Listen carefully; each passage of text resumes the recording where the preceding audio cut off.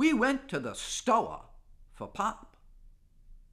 Couldn't find hide nor hair. Just wasn't there. Don't you know? Sitting down street in cars, quiet, watching. To see out and go with anyone. Walking by tombs that rest the ones dead in winter. Well, you sure can't plant 'em then. Used to scare the hell out of me. Still does.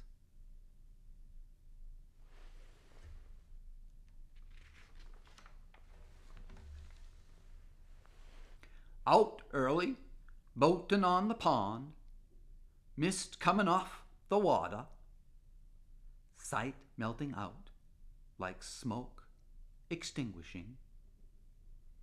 I've been here before with my lines in waiting for the day when I'll be without my blanket and my covers will burn in the sun.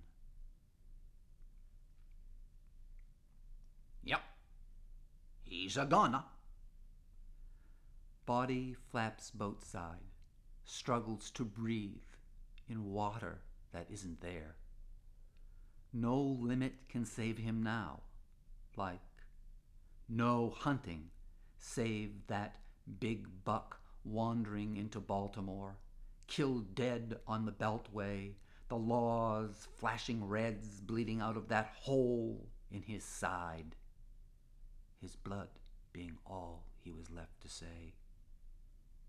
Yeah, he's a goner, all right.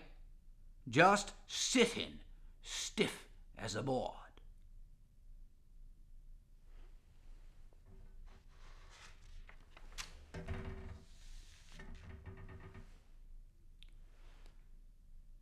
When I was little, my Uncle Amos let me help him with roofing jobs. It made me feel big and worth something. He died by falling in an acid pool for stripping bark from trees. By the time they drained the pool, he was cooked. We used to take the old roofing off before putting on new. When they tried to take his clothes off, everything came with it. So they had to bury Amos in his old roofing. That was all that was left of the house. He died very late at night, between dreams. Mm, yes, sir. He parked in the dark by the harbour. And the sea goes out, don't it? and never comes back the same.